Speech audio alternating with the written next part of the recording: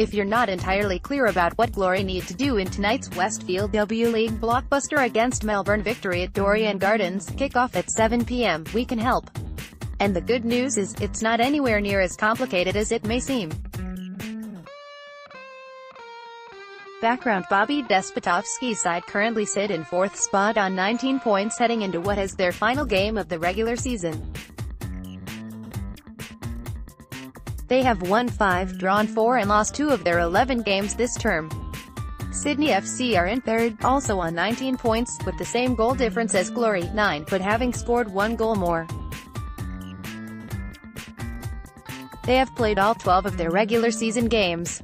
Brisbane Roar are in second place on 20 points and Melbourne Victory are top, also on 20 points but with a better goal difference than Roar. Top 4 finish guaranteed. Glory are guaranteed to retain fourth spot and play finals football providing they do not lose to victory this evening by a margin of more than 5 goals, in which case they would be bumped out of the top 4 on goal difference by Melbourne City. So that's the doomsday scenario out of the way, now let's look at some more optimistic possible outcomes.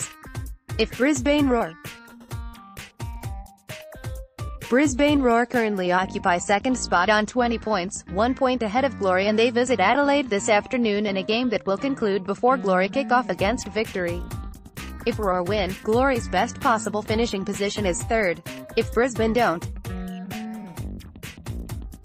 but if Roar fail to win and Glory better their result against Victory, they can clinch second spot and the home semi-final that goes with it. Glory, Glory Hallelujah. And the dream scenario is Roar failing to win, Glory defeating Victory and the Navy and Whites then not managing to beat Canberra in their final game of the regular season on Tuesday. If that happens, Glory will be minor premiers.